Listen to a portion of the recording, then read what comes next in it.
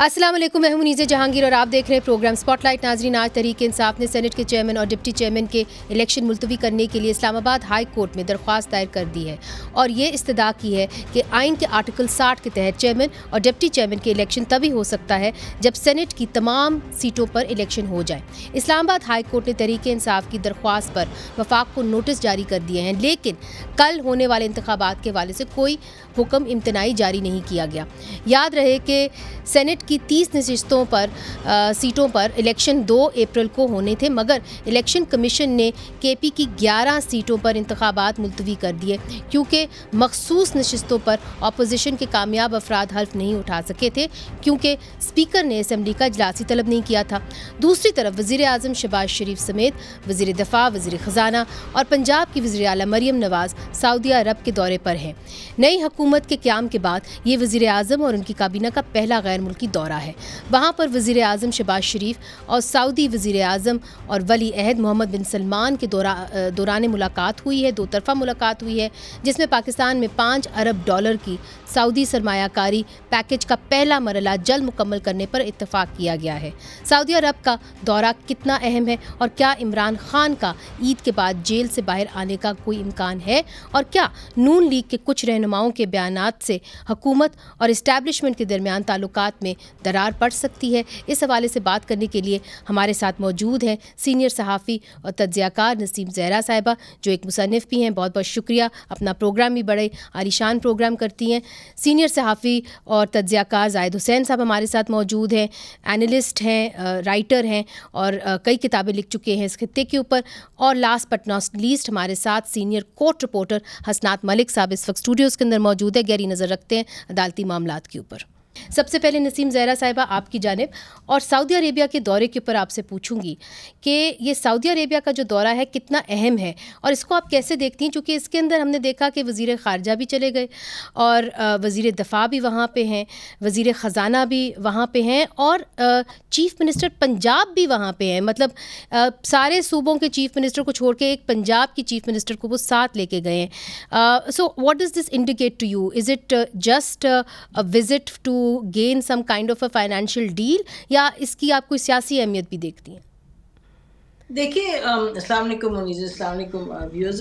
ये मेरा ख्याल है कि इसकी एक सिंबॉलिक सियासी वैल्यू इस हवाले से है कि सऊदी अरेबिया के साथ आप अपने ताल्लुकात जहाँ तक इकतसादी सूरत वो है एंगल उसमें आप उसको उसवार करने की कोशिश कर रहे हैं उनको बढ़ाने की कोशिश कर रहे हैं। और दूसरा मेरा ख्याल है, इनका सीएम पंजाब के जाने का जो मकसद है और जो सिग्नल करता है वो ये कि नवाज़ शरीफ साहब को देखा जाता है कि सऊदी अरेबिया के बड़े दोस्त हैं तो उस कॉन्टेक्स्ट में ये this is a kind of a family angle इसमें मेरा ख्याल है कि ये ये तो नहीं आप कह सकते कि कोई इसकी सिग्निफिकेंस उस तरीके से है कि कोई दौरा इसकी वजह से कोई ज़्यादा अहमियत इख्तियार कर लेगा। जो जॉइंट कम्युनिके आया है जो अभी हम पढ़ रहे थे उस जॉइंट कम्युनिके में तो यही लिखा है जो आपने कहा कि जो पाँच अरब डॉलर की इन्वेस्टमेंट है उसमें कोशिश तेज़ी लाने की कोशिश होगी। तो मुनीजे तेज़ी लाने की कोशिश की तो काफ़ी देर से बात हो रही है हम्म, तो हम्म, हम्म, बाहिर तो ये नहीं लगता कि कोई कॉन्क्रीट चीज़ आ गई हो क्योंकि आपको याद होगा कि आर्मी चीफ ने जब एस आई एफ़ सी वगैरह बनी थी तो उस वक्त उन्होंने काफ़ी बात की थी कि नौ दस अरब या उससे भी ज़्यादा पैसा आएगा फौरी तौर पे दो तीन बिलियंस ऑफ़ डॉलर्स का तो अच्छी बात है कि ये दौरा हुआ है अच्छी बात है इस पर फोकस है। लेकिन अभी तक जो हमारे सामने आया है उसके नतीजे में हम ये नहीं कह सकते कि कोई बहुत मेजर ब्रेक थ्रू आए लेकिन सिंबॉलिकली अहम ये दौरा है। अच्छा जाहिद हुसैन साहब, आपकी जानब आप इस दौरे को कैसे देख रहे हैं? क्योंकि ये भी एक परसेप्शन यहाँ पे पाई जाती है कि अमेरिका की तरफ़ से सऊदी अरेबिया जो ट्रबल शूटिंग है पाकिस्तान के अंदर, वो करता है। तो क्या ये हम इस दौरे को ऐसे समझें कि सिर्फ़ because they've taken the finance minister with them कि ये एस आई एफ़ सी के हवाले से जो कुछ वादे किए गए थे, फिर ये भी कुछ कहा गया था कि जी, बलूचिस्तान के अंदर जो सऊदीज़ हैं, वो सरमायाकारी करेंगी। ये उसको स्पीड अप करने के लिए है, या आप समझते हैं कि सियासी मामला के अंदर जो है कुछ राय भी ली जाएगी या कुछ ट्रबल शूटिंग भी की जाएगी? देखिए मैं तो इसको इस, इस, इस दौरे को इस लिहाज से देखता हूँ कि हमारी एक रवायत रही है हर हुकूमत की। जब भी आते हैं तो मैं हल सऊदी अरेबिया का पहला दौरा होता है और ये उसकी बात उसकी नौीयत भी यही होती है कि चूँकि सऊदी अरेबिया पाकिस्तान के एक लिहाज से कहा जा सकता है कि एक करीबी हली हलीफ है। और अब जो ताल्लुक सऊदी अरबिया के जो पहले एक हद तक और भी थे और भी इसमें उसका एक डिफेंस एस्पेक्ट भी था। अब वो बढ़ते हुए उसको अब अब कोशिश ये की जा रही है कि उसका डायमेंशन बढ़ के एक इकोनॉमिक रिलेशनशिप की तरफ़ जा सके। हम्म। दूसरी बात ये देखें पाँच ये पाँच बिलियन की। सऊदी अरबिया ने बहुत पहले से ये कह दिया है कि अब वो तरीका उन्होंने बदल दिया है न सिर्फ़ पाकिस्तान के लिए बल्कि इजिप्ट के लिए भी कि अब जो है बरारास्त डोनेशन नहीं देंगे या आपको पैसे नहीं देंगे। अब जो भी आएगा वो इन्वेस्टमेंट की सूरत में आएगा। लेकिन एक आपको याद होगा कि जब इमरान खान साहब की गवर्नमेंट थी उस वक्त सऊदी अरेबिया ने 10 बिलियन डॉलर की इन्वेस्टमेंट का वादा किया था। वो जो कभी भी पूरा नहीं हुआ। अब वो घट के पाँच बिलियन तक आ गया लेकिन असल मसला तो वहीं का वहीं रहता है कि असल मसला ये नहीं है कि वादे क्या होते हैं या जो कम्युनिके निकलता है उसमें क्या कहा जाता है। लेकिन उसमें अमल दरामद कहाँ पे होगा? ये सबसे बड़ा पाकिस्तान का मसला है। जी अच्छा अगर हम अब अंदरूनी सियासत के ऊपर भी आएँ क्योंकि वो भी मामला काफ़ी उलझे हुए हैं। हसनात मलिक साहब आप तो अदालतों को कवर करते हैं। अब मुझे बताइए आज जो इस्लामाबाद हाई कोर्ट में आ, कानूनी चाराजोई हुई है और वहाँ पे उन्होंने ये कह दिया है कि जी नोटिस जारी कर दिए मगर उन्होंने ये कहा है कि जी इलेक्शन होंगे। मतलब इट्स इट अपेयर्स के इलेक्शन कल होंगे डिप्टी चेयरमैन सेनेट के और चेयरमैन सेनेट के।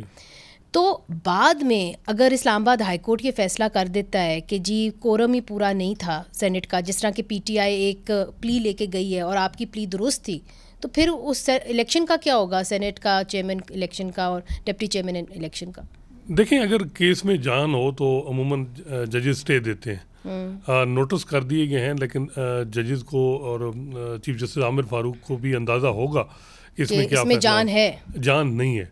जान होती तो स्टे दे देते अच्छा ठीक है। दे देते। हम्म। तो देखें इस ये मामला अगर आप देखें ये तेरह जनवरी की आर्डर की इम्प्लीकेशन से सारा कुछ हो रहा है। हम्म। तिरसठ ए उनके एम एन एज पे अप्लाई नहीं हो सकता। वजह क्या है कि तेरह जनवरी का फैसला जिसकी तहत इलेक्शन लड़ी एक जमात और उसको सिंबल नहीं मिला। हम्म। अब उनको रिज़र्व सीट नहीं मिली। उसकी वजह भी यही है कि वो जो तेरह जनवरी का फैसला है। लेकिन उसमें पीटीआई की अपनी लीगल स्ट्रेटजी के बड़े फ्लाज हैं। चाहिए उनको था बहुत से लोगों का ये था कि जी आप जब इलेक्शन जीते हैं आप इलेक्शन कमीशन में दरख्वास्त दें क्योंकि वहाँ जब सुप्रीम कोर्ट में जब हेयरिंग हो रही थी तो ये बात आई थी कि हमें रिज़र्व सीट नहीं मिलेंगी तो सुप्रीम हम्म। कोर्ट की तरफ़ से था कि जब ये मामला आएगा तो हम देख लेंगे आप हमारे पास आइएगा ये बजाय इसके इस तरफ़ जाते तो सुन्नी इतिहाद से जो अलायंस हाँ, कर दिया हम्म। और उसका भी बाद में खुद अली ज़फ़र साहब और वो कहते हैं कि जी ब्लंडर हो गया हम्म। क्योंकि वो जमात जिसका लीडर जिसका सरबराह खुद आज़ाद लड़ रहा है उसके साथ इलाक करना चाहिए था। रिज़र्व सीट में इनकी एक पॉइंट पे जान है कि जी हमें नहीं मिलती। तो ये हमारे जो रिज़र्व सीट है हमारे नाम की ये माल गनीमत दूसरों में क्यों बांटा गया? अब ये देखें ना आप जिस तरह के पी में जो जमातें तीन तीन सीटें थी उनको अब पाँच पाँच सात सात रिज़र्व सीट मिल गई। ये भी आ, मेरा ख्याल है कि मुनासिब नहीं था जिस तरीके से किया गया। और जो प्रेसिडेंट ओवरऑल इस इलेक्शन की सेट हुई है आ, वो काफ़ी ज़्यादा उससे कंट्रोवर्शियल कंट्रोवर्सी जन्म ली है। लेकिन देखें अदालत में जब ये मामला अब ईद के बाद टेकअप होगा बाहर ये लग रहा है कि इतना जल्दी तो नहीं होगा क्योंकि चीफ जस्टिस तो साहब ने कहा था कि काफ़ी देर लगेगा इसको सेटल होते हुए और तब तक ट्राइब्यूनल्स में मामला चले जाएँगे। और ये हाँ। अगर आप देखें तो अदालतें अगर इसी तरह चलेंगी तो अदालतें बज़ाहिर ये लग रहा है कि चीज़ें इरेलीवेंट हो रही हैं और अब फिर पीटीआई को उन कुतों से ही डील करना पड़ा। अच्छा इसी के ऊपर आपने जो अहम बात की है नसीम जरा साहिबा आपने हसनात मलिक साहब की बात सुनी, उन्होंने बताया कि कैसे मामला इस वक्त अदालतों के अंदर जाएँगे और जो इलेक्शंस के मामला थे इवेंचुअली वो ट्राइब्यूनल्स के अंदर आ जाएँगे। अगर ऐसा होता है तो फिर पीटीआई के पास जो है ऑप्शन वो क्या रह जाते हैं? अभी वो कहते हैं कि जी, हम बात करेंगे और उन्होंने कहा बाकायदा तौर पर कि जी, हम इस्टेब्लिशमेंट के साथ बात करेंगे। मगर फिर जो एक सियासी बातचीत होनी थी, उसका क्या होगा? जिसका आप जैसे लोगों ने भी कहा कि जी, अगर जमहूरियत को फलना फूलना है तो फिर सियासी लोगों को तो आपस में बैठ के बात करनी होगी। देखिए इस वक्त हमें ये ए, एक तो ये जो आपने पहले भी शुरू में कहा कि क्या इमरान खान रिहा होते नज़र आ रहे हैं ईद के बाद मुझे बाहिर कोई उसकी इंडिकेशन कहीं से भी नहीं है। एक तो ये। अच्छा। दूसरा ये कि इस्टेब्लिशमेंट और पीटीआई इंगेज अगर करे तो कैसे कर सकती है? अच्छा आपने देखा कि इमरान खान साहब ने परसों काफ़ी बातें की काफ़ी उन्होंने अपना पोजीशन फिर से री की कि जी हम किसी सूरत बैक ऑफ़ नहीं करेंगे मैं कोई डील नहीं करूँगा और Uh, मैंने जनरल आसिम मुनीर को के खिलाफ uh, कोई मैंने नहीं कहा था कि उनको ना बनाए मैंने इनफैक्ट uh, उनके कहने के मुताबिक उन्होंने उस वक्त के प्रेसिडेंट आरिफ अलवी साहब के फ़ोन के थ्रू उनको ये मैसेज दिया कि जी हम आपको अपोज नहीं कर रहे आर्मी चीफ तो एक तो उन्होंने ये बयान किया फिर उन्होंने ये कहा कि ज़िम्मेदारी जनरल आसिम मुनीर की होगी अगर मुझे या हम्म। मेरी बेगम को कुछ हो।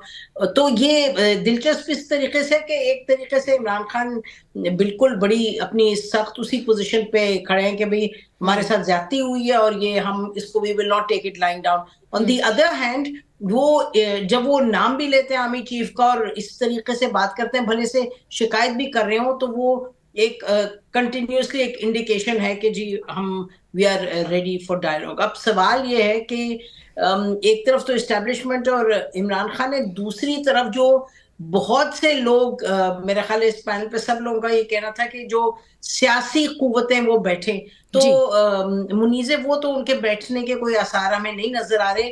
अलबत्ता दिलचस्प जो डेवलपमेंट हो रही है वो ये हो रही है कि हम देख रहे हैं कि पीएमएलएन के एक धड़े से इस्टेब्लिशमेंट को इनडायरेक्टली उसको क्रिटिसाइज किया जा रहा है चाहे हम्म। कि नॉन पॉलिटिकल हम्म। लोगों की इंपॉर्टेंट अपॉइंटमेंट्स पे हम्म। चाहे वो उनके कहने के मुताबिक राना सनाउल्लाह साहब ने कहा जी हमें हरा दिया गया और फिर ये नहीं और उन्होंने कहा ये जो तीनों केसेस हैं वो इसलिए हुए ताकि फिर हमें उसका नुकसान पहुँचे और ये तीनों केसेस हैं they will not stand in court of law तो मतलब ये कि बड़ी एक दिलचस्प एक सिचुएशन डेवलप हो रही है इसमें कोई हतमी बात कहना नहीं मुमकिन लेकिन ये कहना मुमकिन है कि जो पीटीआई है उसकी जो है सपोर्ट वो अपनी जगह इंटैक्ट है अगर बढ़ नहीं रही।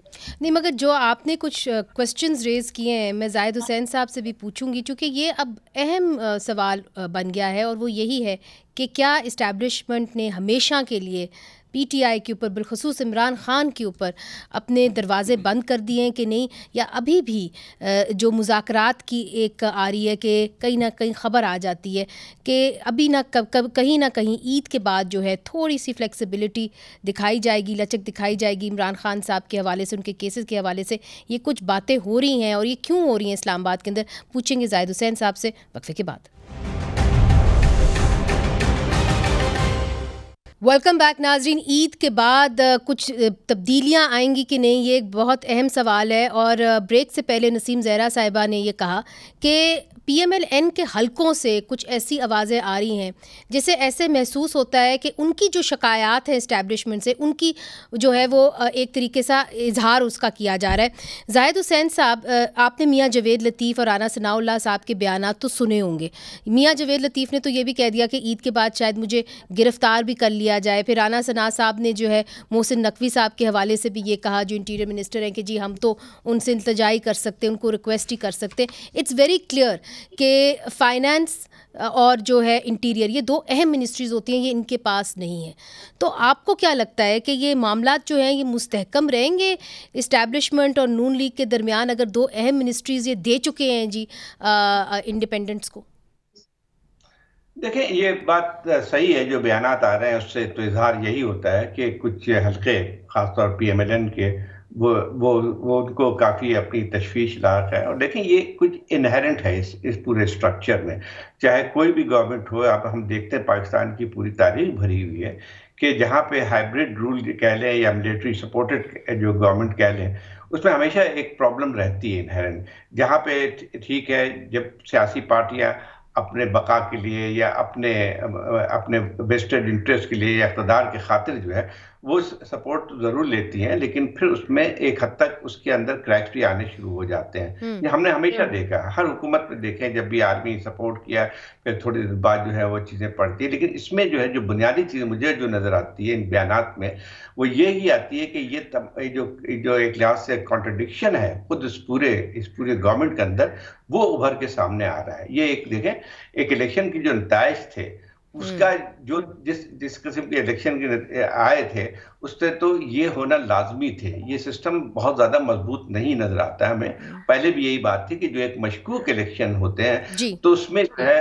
ये इस किस्म के तनाजात भी बढ़ते हैं। अब ये देखें ये बात सही है कि जो है शहबाज शरीफ साहब वजी अजम बने और मेरे ख्याल शहबाज शरीफ साहब सबसे ज़्यादा जो है काबिल कबूल है इस्टेब्लिशमेंट को। इसमें तो कोई शक की बात ही नहीं है। हम्म। लेकिन अभी एक और भी आती कि पीएमएलएन के अंदर जो।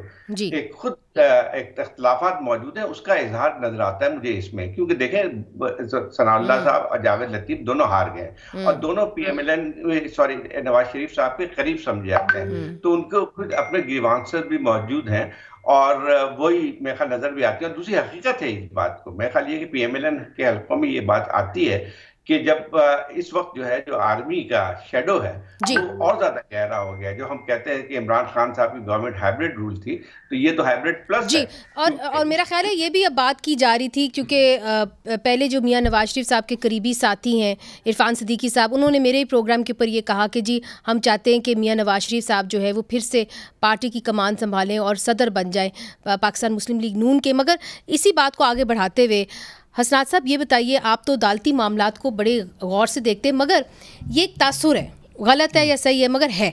कि जी, जब पॉलिटिशियंस एहतजाज करते हैं, और अगर वो किसी मुसीबत में हो या हिरासत में हो तो उसका बर रास्त असर जो है, वो अदालती केसेस के ऊपर पड़ता है। और ये देखा जाता है कि उनको छूट अदालतों के अंदर से ज़्यादा मिलती है। जितना सख्त एहतजाज सड़क पर होता है, उतनी छूट जो है अदालती कमरे में मिलती है। तो इसकी क्या तो हम रखें कि ईद के बाद इमरान खान साहब को बेल हो सकती है, क्योंकि वो एहतजाज का सिलसिला भी जारी करने लगे हैं। मेरा नहीं ख्याल कि आप कह सकते हैं कि एब्सोलूट उनको कोई रिलीफ मिलेगा। थोड़े बहुत जुजवी रिलीफ मिलते रहेंगे। एब्सोलूट रिलीफ तभी पाकिस्तान में सियासतदानों को मिलते हैं जब वो मुख्तर हलकों के साथ कोई मुजाकर करते हैं, कोई बातचीत उनकी फ़ाइनल होती है।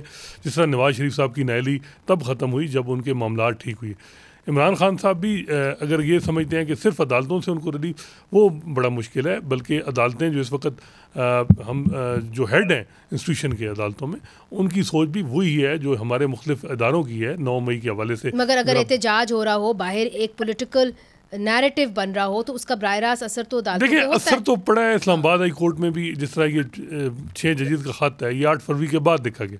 असर तो पड़ा है। लेकिन जो इस इंस्टीट्यूशन में मैटर करते हैं वो चीफ जस्टिस साहबान करते हैं। आ, रिलीफ हल्के फुलके मिल जाएँगे इनको कोई नहीं लेकिन जो आप कह सकते हैं कि बड़ा रिलीफ ये इनकी नैली ही ख़त्म हो जाएगी या इमरान खान बाहर आ जाएँगे इमरान खान बाहर तभी आएँगे जब वो कोई मुजाकर उनके इस्टेब्लिशमेंट से होंगे इसके अलावा अदलिया में जब तक या तो अदलिया में यूनिटी हो हम्म। अदलिया में इस वक्त जो है यूनिटी नहीं है अगर आप छः जजेज़ की में देखें हाँ। जब अदलिया तकसीम होगी हम्म। तो फिर बड़ा मुश्किल है कि सियासी जमातों को और ख़ासकर पी टी आई को कोई रिलीफ मिले उसके लिए जो है वो फिर उनको बात करनी पड़ेगी हम्म। अदलिया में इस वक्त हम देख रहे हैं छः जजेज़ के लेटर पर तकसीम है और भी जो मामला हैं जो पीटीआई के हवाले से जो इकदाम रियासत ने किए उस पर भी तकसीम है। तो मेरा नहीं ख्याल कि अदालतों अच्छा, से बहुत बड़े तकसीम है सिर्फ़ अदलिया तक महदूद नहीं है। ये कुछ हमें हल्के बताते हैं कि जी तकसीम हर जगह है। नसीम ज़रा साहिबा आपसे जानने की कोशिश करूँगी कि माजी में हमने देखा है कुछ ऐसे सियासी लीडरान निकले और उन्होंने जो है जिस तरह मियाँ नवाज़ शरीफ साहब उन्होंने कहा वोट को इज़्ज़त दो। फिर इवेंचुअली उन्होंने नेगोशिएशंस की इस्टेब्लिशमेंट के साथ। मुझे ये बताइए कि इमरान खान साहब जहाँ आज खड़े हैं और जहाँ इस्टेब्लिशमेंट खड़ी है, क्या हमेशा के लिए उन्होंने अपने दरवाजे बंद कर दिए इमरान खान साहब के ऊपर?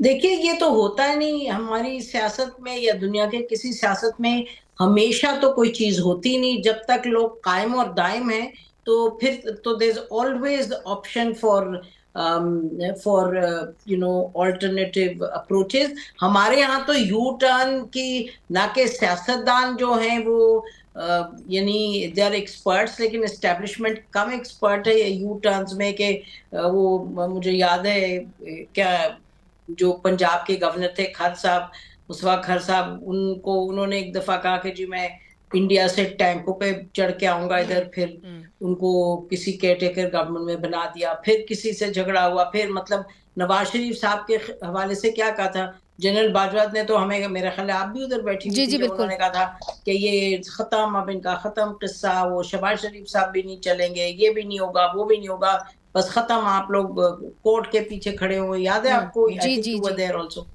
तो वो एक भरे हॉल में तो बस वो देखे और आज का दिन देखे तो ये मेरा ख्याल है कि मामला कोई अटल तो नहीं होते अमूमन। आज का नहीं कहा जा सकता लेकिन बजाय देखिए एक और भी आप अगर सिचुएशन पर फोकस करें कि ये जब इलेक्शन हुए हैं ये बड़े दिलचस्प इलेक्शन थे क्योंकि एक तरीके से लग रहा था कि ये जो इस्टेब्लिशमेंट या जो भी असरअंदाज हो रहे थे इलेक्शन पे वो किसी सूरत ये पीटीआई को ज़्यादा वोट नहीं लेने देंगे यानी हम्म। सीटें नहीं लेने देंगे हम हम्म, कह रहे थे चार हम्म, जी बीस तीस मैक्सिमम मैक्सिमम बीस तीस। और दिलचस्प बात ये हुई कि इलेक्शन का जो दिन था वो यकीनी तौर पे बारिंग द टेलीफोन जो उस, उसके इन्होंने कनेक्शन काट दिए थे सब फोन्स के सेल फोन्स के। उसके अलावा it was a very the day was a very fair day मतलब हाँ। के नहीं मगर फेयर डे टिल फाइव ओ ना जी। उसके बाद नौ बजे के बाद जब तब्दीली आई तो नहीं नहीं हाँ। एक सेकेंड बात ये है कि मैं खत्म कर लेती जरा मुनीजे ये पाकिस्तान की तारीख में पहली दफ़ा इस स्केल पे गाइडेड काउंटिंग हुई है। ये जो इलेक्शन जो था इस मरतबा ये गाइडेड काउंटिंग जो हुई है वो आप फॉर्म 45 वर्सेस फॉर्म 47 जी। तो मैं ये कह रही हूँ कि ये जो हमने देखा कि इतने उनको सीट्स मिल गई पीटीआई को उसके बाद कोर कमांडर जो है पेशावर में उन्होंने इलेवन कोर के उन्होंने बुलाया यानी ये ज़रूर है कि इफ्तारी पे बुलाया लेकिन गंडापुर साहब अपने काबीना के साथ गए उनको इफ्तारी भी उन्होंने खाई उनके साथ बैठ के कोर कमांडर के साथ और साथ उन्होंने ब्रीफिंग भी उनको मिली। कहने का मकसद मेरा कि ब्लैक एंड व्हाइट है ही नहीं। नहीं नहीं एब्सोल्युटली ये ये यही यही हम पूछना चाह रहे थे कि ब्लैक एंड व्हाइट नहीं है मगर कई दफ़ा हमें ये बताया जाता है कि ब्लैक एंड वाइट है। कई दफ़ा हमें कहा जाता है कि बानी पीटीआई जो हैं, उनके ऊपर कांटा लग चुका है, अब वो एक्सेप्टेबल नहीं है। मगर दूसरी तरफ़, जिस तरह के आपने भी पॉइंट आउट किया कि खैबर पख्तूनख्वा की पूरी काबीना जो है, उन्होंने इस्टेबलिशमेंट के साथ जो है मुजाकर किए और उसके अंदर अली अमीन गंडापुर साहब मौजूद थे। अब क्या उनको इमरान खान साहब से इजाज़त थी? इमरान खान साहब जेल के अंदर किस किस्म की सियासत करना चाह रहे और उनकी पार्टी किस किस्म की सियासत करना चाह रही है? दरारें सिर्फ़ पीएमएलएन में नहीं है पीटीआई में भी है। इसके ऊपर भी बात करेंगे वक्फे के बाद। वेलकम बैक नाजरीन जायद हुसैन साहब, दरारें जो हैं, वो सिर्फ़ पीएमएलएन में नहीं दिख रही पीटीआई में भी दिख रही हैं। आप मामला को कैसे देखते हैं? कैसे इसका तजिया करते हैं? एक तरफ़ से इमरान खान साहब जेल से, जिसे कहते हैं ना, शोला बयान बयान वो इस किस्म के दे रहे हैं और कह रहे हैं और डायरेक्ट हमला कर रहे हैं इस्टेब्लिशमेंट के ऊपर। फिर हम देखते हैं कि उन्हीं की खैबर पख्तूनख्वा की काबीना समेत खैबर पख्तूनख्वा के वज़ी अली मीन गंडापुर जाके इस्टेब्लिशमेंट से ब्रीफिंग भी ले लेते हैं। सो where are we going with this? Is it that PTI is acceptable and not Imran Khan?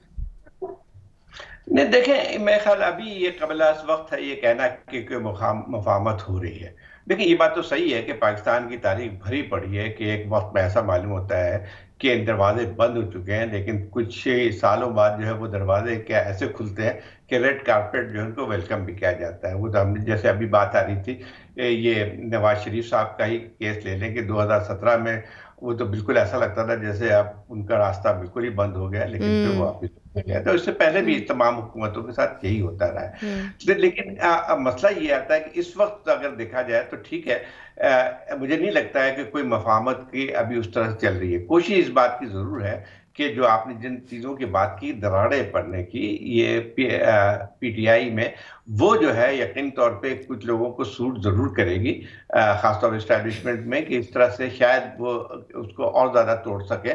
मेरे ख्याल ये कि नागुजीर चीज़ भी है, जो पी, जो पीटीआई में जो हो रहा है इस वक्त, एक तो क्यादत उनके अंदर है, दूसरी बात यह है कि जिस तरह से पहले बिल्कुल दो साल से जो कुछ हो रहा है कि किस तरह से आपके दूसरे रहनुमाओं को पकड़ के बंद भी किया गया उन पर केसेस भी बनाया गया अब ये कि एक और बात भी आ गई कि अब जो क्यादत है इस वक्त बिल्कुल ही रॉ है इनकी।